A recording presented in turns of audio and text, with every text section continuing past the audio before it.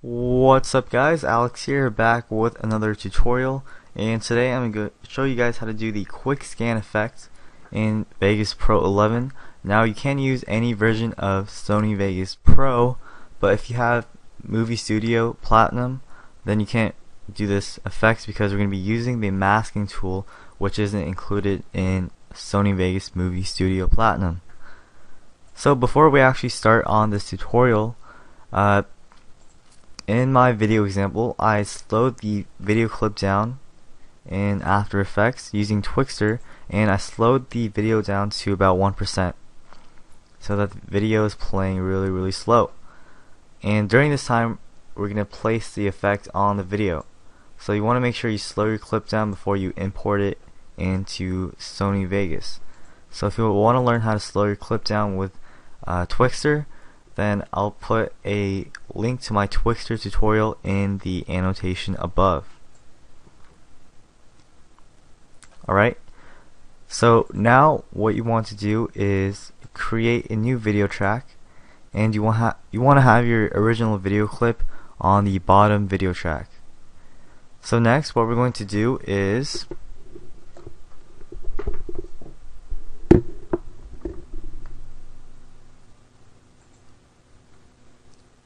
select the video clip and we're going to hold control and we're going to click on the video clip again and drag it upwards onto the new video track. So that way we duplicate an exact copy of the video clip. Now make sure both video clips are directly beneath each other and we're going to go to the part where I start slowing down the clip which is around one second for me it's going to be different for you guys, but for me it's one second. Starting at one second, you want to make a cut. So click on the video clip, on the top video clip only, and press S to make a cut. And the slow motion ends at around 3 seconds. So I'm just going to make another cut. And we're only going to apply the effect to the top video track. So you want to go ahead and open the event pan crop option and select the masking option. Now you want to make sure you have enable snapping and you want to select your anchor creation tool. So so make a point anywhere on the screen of your event pan crop window. And for this specific point we're going to set the x value of the position to 0 and the y also to 0 so this point came from around this area to the top corner. And we're going to go ahead and make another point. And you want to make sure that you click it on the opposite vertice and again we're going to select the y value set it to 0 and select the x value. And since our project video properties are 1280 by 720 I'm just going to get the width value of 1280 and input that to the X value. Now for our third point we're going to go down on the Y axis. So I'm going to go ahead and make a point and you want to make sure the X value stays the same as 1280 and for the y value I'm going to set it to around 150 or maybe 200 and I'm going to make my fourth point. And again you want to make sure the x value is set to 0 the same as this first point we made. And the y value should be at 150 whatever y value you put for the third point. Now we're going to complete the mask by selecting the first point we made from our previous fourth point. And once you select the mask what we're going to do is select our normal edit tool which is this little cursor right here. And we're going to click any of the points and we're going to drag it up. Drag it up so that the boundary of the box is outside of the video. Now this effect can last from 1 to 2 seconds. So what we want to do is from the beginning we want to go ahead and scrub through our frames. And at about the entire length of this short video clip that's going to be the duration of the effect. So just go all the way to the end uh, double click to make a keyframe on the bottom track. And we're going to select this box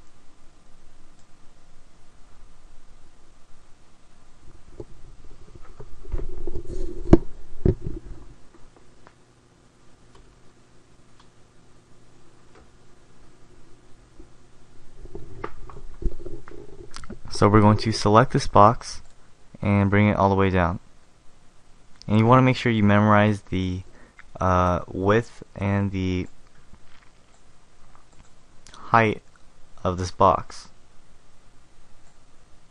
So let's bring it down. Going to bring this point down also. And bring the last two points down as well. So you should be able to memorize how big the box is when you're bringing it down. Alright, so as you scrub through your frames, you're going to notice nothing has happened yet on the video preview. And that's because since this clip is a direct copy and placement of the original video clip, uh, they're basically copies of each other, so nothing is going to happen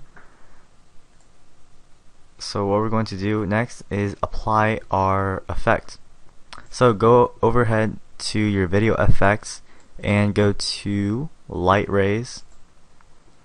And we're going to select any one of these three plugins. CN Spotlight, Ambient Red Spotlight, or Ambient Bright Yellow Spotlight. Uh, for the video example, I use the Ambient Red Spotlight, so I'm just going to apply that to the top short video clip. Now when I scrub through my frames, you're going to notice the effects is showing up. So basically this is like a lock on effect. So you want to go ahead and go into your event effects and we're just going to scrub through the middle of our effects and we're going to change the strength to a low value, so at around 0.15 or 0.2. And for the radius x and y, you want to make sure it's around the size of your target. So for me it's 0.03 for both radius x and y.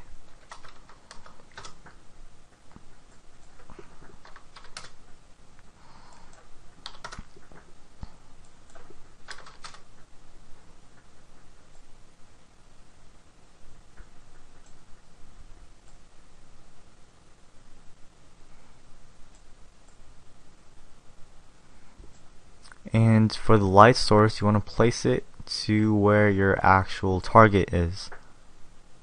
So just select this and you can move it around.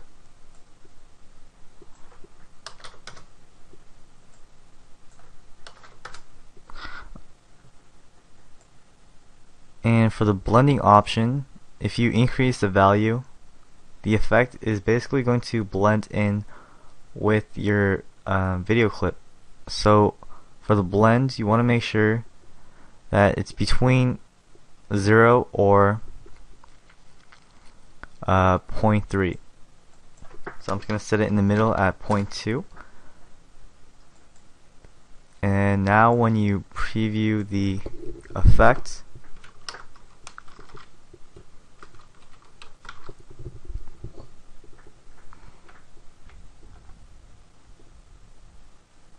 it should look something like this. Now, in the video example, you're going to notice that for the scanning effects, right in the middle, this little bar pauses for about a few frames and then goes down. So to do that, all we have to do is go into our event pan crop option and you want to scrub through our frames and right when the bar is showing the target you want to go ahead and create a keyframe. To go forward a few 10 or 20 frames. Forward make another keyframe. And we want to bring all the points up to where the middle of the effect is occurring. See, it's right here. You can bring it up a little bit.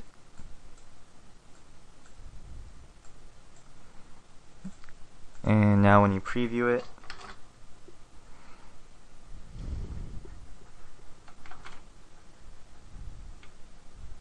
it should look something like this. So that's the end of this tutorial. Uh, I hope you guys liked it. Again, if you want to help me out, please subscribe and watch my uh, daily. So that's the end of this tutorial.